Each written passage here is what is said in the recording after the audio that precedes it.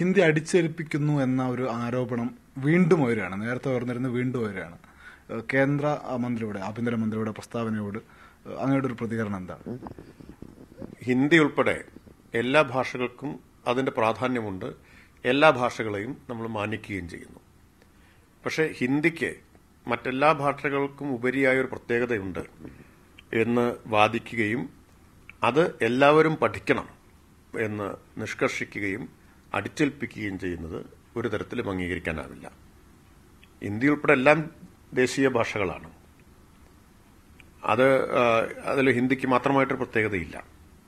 കൂടുതൽ ആളുകൾ സംസാരിക്കുന്ന ഒരു ഭാഷ എന്നതൊഴിച്ചാൽ മറ്റ് പ്രത്യേകതയില്ല.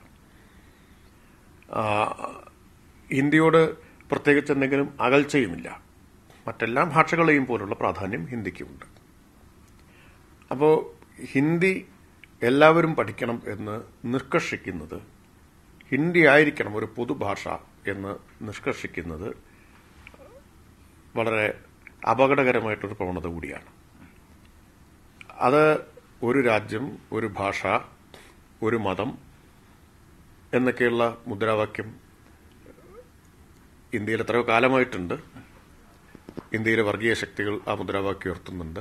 ആ മുദ്രാവാക്യത്തിന് അനുപൂരകമായിട്ടുള്ള വാദമാണിത്.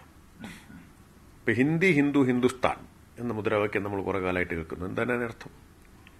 ഒരു ഭാഷ ഒരു മതം ഒരു രാഷ്ട്രം.